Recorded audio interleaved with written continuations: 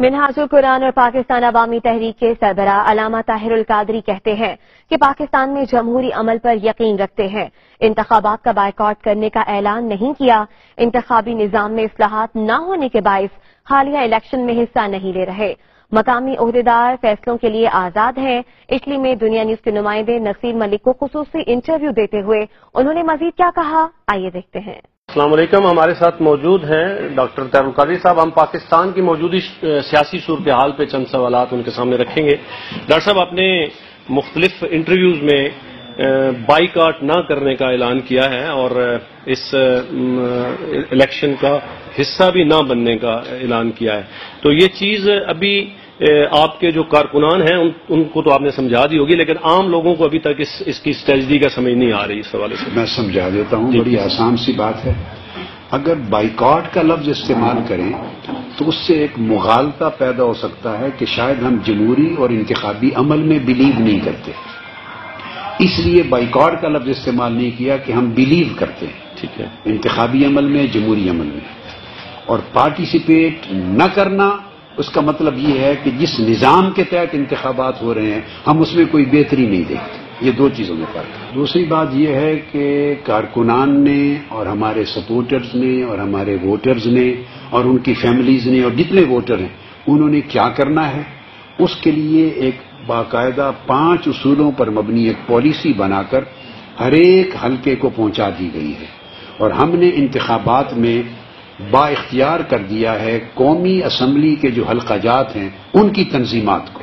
ٹھیک ہے۔ ایک نیشنل اسمبلی کی کانسٹیچوئنسی کے نیچے دو پی پی حلقہ جات آتے ہیں۔ ٹھیک ہے۔ ان ان حلقہ جات کی تنظیمات کو ہم نے با اختیار کر دیا ہے کہ وہ مکمل طور پہ با اختیار ہیں مرکز مداخلت نہیں کرے گا۔ جو فیصلہ کرنا چاہیں ان کو اجازت۔ دیکھیے نواز شریف کو سزا ہوئی اس سے ملک کا انتخابی نظام تو نہیں نہ بدل گیا۔ وہ تو ایک مجرم تھا۔ اس کو تو نوے میں سزا ہو جانی چاہیے تھی۔ یہ تو اس قوم کی بدقسمتی کہ اس قسم کے جرائم پیشہ لوگ اور نواز شریف اور نواز شریف جیسے اور لوگ، یہ ملک کی بدقسمتی ہے کہ وہ اقتدار پر بیٹھے ہیں، جنہیں ہمیشہ سے جیل میں ہونا چاہیے۔ مگر اس تمام ڈیولپمنٹس کا ملک کے انتخابی اور سیاسی نظام پر کوئی اثر نہیں پڑا۔ چند آدمی، اکا دکا آدمی نااہل ہوئے۔ مگر باقی ساری اسمبلی نااہلوں کے ساتھ بھر جائے گی اس سے فرق نہیں پڑتا۔ میرا کنسرن یہ ہے کہ ایک عام آدمی مثلا آپ میں سے کوئی پڑھا لکھا باعزت باشعور سفید پوش یا آپ جن کو پیچھے جانتے ہیں کوئی اگر اس الیکشن میں کھڑا ہونا چاہے تو وہ عزت کے ساتھ ہارنے کی پوزیشن میں نہیں ہوگا۔ مطلب ہے کہ یہ الیکشن ایک ایک کانسٹیچوئنسی کا الیکشن دس دس کروڑ سے لے کر پچہتر اسی کروڑ یا ایک ایک دو دو ارب روپے کی مالیت کا ایک الیکشن ہے۔ کامن مین اس الیکشن پروسیس کا حصہ کیسے بن سکتا ہے؟ میرا تعلق صرف اس کنسرن سے ہے اس لیے ہم اس کا حصہ نہیں بنے۔ مگر مخالفت اس لیے نہیں کر رہے کہ ملک جمہوری اور سیاسی عمل میں آگے بڑھ رہا یہ بڑا بنیادی اساسی نظریاتی مسئلہ ہے۔ ٹھیک ہے۔ اس پر میں کسی جماعت کے حوالے سے کمنٹ نہیں کروں گا۔ میں نے تو آپ کو ایسی بات کی ہے جس کا تعلق کسی بھی جماعت سے نہیں ہے۔ نہ کسی جماعت کے منشور سے موافقت سے نہ کسی کے ساتھ مخالفت سے۔ میں نے تو ایک پوری قوم کے بیس کروڑ عوام کے قوم کے مثلا میں پاکستان کے تیس صوبے دیکھنا چاہتا ہوں۔ یعنی بہت سارے تحفظات ہیں۔ میں پنجاب کا ایک صوبہ اور مقابلے میں تین صوبے میں سراسر زیادتی سمجھتا ہوں تقسیم وسائل تقسیم دولت تقسیم طاقت۔ میرے نزدیک ہر ایک ڈویژن ایک صوبہ ہونا چاہیے، مگر انتظامی بنیاد پر۔ اقتدار اور طاقت تقسیم ہونی چاہیے۔ تو بجائے ایک وزیر اعلیٰ کے، میں پنجاب کے آٹھ وزیر اعلیٰ دیکھنا چاہتا ہوں۔ آٹھ ڈویژن کو ایک انتظامی صوبے کی شکل میں، اس طرح باقی صوبوں کو بھی۔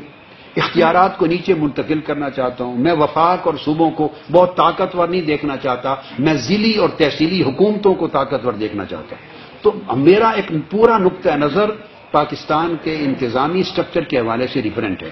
مگر یہ سب چیزیں اس وقت ممکن ہیں جب پہلے احتساب ہو، عوام کو حقوق سے محروم کرنے والے طبقے کک آؤٹ کیے جائیں۔ با کردار لوگ، اچھے لوگ عوام کے حقیقی نمائندے اوپر آنے کے قابل ہوں۔ اور پھر اس کے بعد انتخابی اصلاحات ہوں۔ جب اس کے بعد الیکشن ہوگا تو وہ انشاءاللہ آپ دیکھیں گے مختلف نتائج دے گا۔ اور آپ جیسے عوام الناس کے لوگ بھی وہ اسمبلیوں میں بیٹھے نظر آئیں گے۔ جب کسان کا نمائندہ ہی کسان اسمبلی میں نہیں بیٹھے گا، تو کسان کے بھلے کا کون سوچے گا؟ جب مزدوروں میں سے کوئی مزدور اسمبلی میں نہیں بیٹھے گا، وہ مزدوروں کے مفاد کا کون سوچے گا؟ تو جب متوسط طبقے کے جو لوگ ہیں، عام اوسط درجے کے پڑھے لکھے، وہ ایک وکیل ہے، لائر ہے، ایک M B B S doctor ہے، ایک انجینئر ہے، ایک پی ایچ ڈی ہے، ایک اچھا تاجر ہے، باشعور آدمی ہے اس کے پاس ساری خوبیاں ہیں، مگر کروڑوں اربوں روپے کا لوٹا ہوا حرام کا سرمایہ نہیں ہے۔ آپ اتفاق کریں گے کہ وہ الیکشن نہیں لڑ سکتا۔ اس کا قصور صرف یہ ہے کہ اس کے پاس لوٹے ہوئے اربوں کروڑوں روپے نہیں ہیں، باقی ساری خوبیاں موجود ہیں۔ تو میں ایسا نظام، اس کے لیے میری سٹرگل ہے۔ بغیر کسی کے ساتھ تصادم کے اور جو بھی حالات چل رہے ہیں، ان کے ساتھ دعا گوئی اور نیک خواہشات کے ساتھ ساتھ میری ایک سٹرگل ہے اس وقت کے لیے کہ جب ایک ایسا وقت آئے جب علم بلند ہو دولت نیچے ہو۔ جب کردار کا درجہ اونچا ہو اور لوٹ مار کا درجہ نیچے چلے جائے۔ بھیا ہم تو پہلے دن سے یہ کہہ رہے ہیں۔ جسٹس باقر نچوی کمیشن کی رپورٹ بھی یہ کہہ رہی ہے کہ یہ ایک سوچا سمجھا منصوبہ تھا اور اس وقت کے آئی جی سکھیرا صاحب کو جہاز بھیج کر باقاعدہ اس قطریان کے لیے بلایا گیا۔ پوری پنجاب گورنمنٹ مکمل طور پہ اس میں ملوث تھی اور نواز شریف صاحب حکم دینے والے تھے اور پنجاب پولیس اس کی تعمیل کرنے والی تھی۔ میں پہلے دن سے یہ کہتے ہیں۔ اب دیکھتے ہیں انشاءاللہ آگے قانون کس سمت اس معاملے کو لے کے جاتا ہے۔ جی بہت شکریہ۔ ہم بات کر رہے تھے ڈاکٹر تیر القادری صاحب سے جو ملک کے موجودہ تناظر میں اپنے خیالات کا اظہار کر رہے تھے۔ جموں کشمیر